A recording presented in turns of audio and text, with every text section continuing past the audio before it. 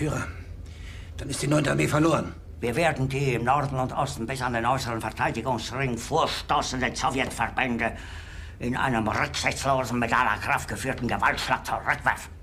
Mit welchen Kräften, mein Führer? Die Gruppe Steiner wird von Norden her angreifen und sich mit der 9. Armee vereinigen. Die 9. Armee ist nach Norden hin bewegungsunfähig. Die Feindkräfte übersteigen unsere Mannschaften um ein Zehnfaches. Wink! Soll mit der 12. Armee die Sache unterstützen. Aber mein Führer, die 12. Armee marschiert nach Westen, Richtung Elbe. Dann soll die Armee kehrt machen! Dann entblößen wir die Westfront. Haben Sie noch Zweifel an meinem Befehl?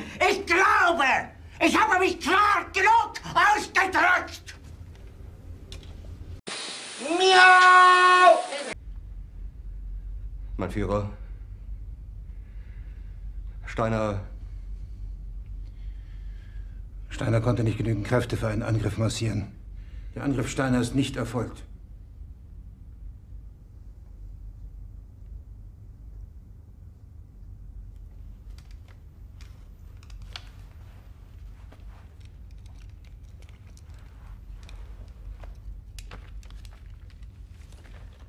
Es bleiben im Raum Keitel, Jodl, Krebs und Burgdorf.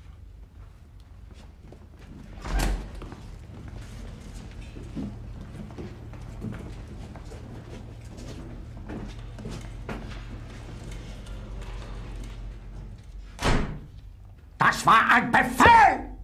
Der Angriff Steiners war ein Befehl! Wer schickt Sie? Dass Sie es wagen, sich meinen Befehl zu widersetzen! So weit ist das also gekommen. Das Militär hat mich belogen! Jeder hat mich belogen, sogar die SS! Die gesamte Generalität ist nichts weiter als ein Haufen niederträchtiger, treuloser Feiglinge! Mein Führer, ich kann nicht zulassen, dass die Soldaten, die für Sie verbringen... Nicht als Feiglinge! Verreiter, Versager! Mein Führer, was Sie da sagen, ist ungeheuerlich. Die Generalität ist das Geschmeiß des deutschen Volkes!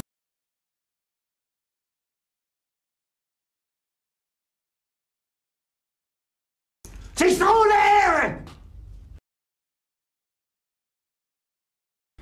Wir können den Gruppenführer Fegelein nirgendwo finden. Er ist nicht in der Bunkeranlage. Was soll das heißen? Sie können Fegelein nicht finden. Wir können den Gruppenführer Fegelein nirgendwo finden. Dann suchen Sie ihn eben! Ich will Fegelein sehen! Sofort! Wenn er sich ohne Befehl entfernt hat, ist das Fahnenflucht! Verrat! Bringen Sie mir Fegelein! Fegelein! Fegelein! Fegelein!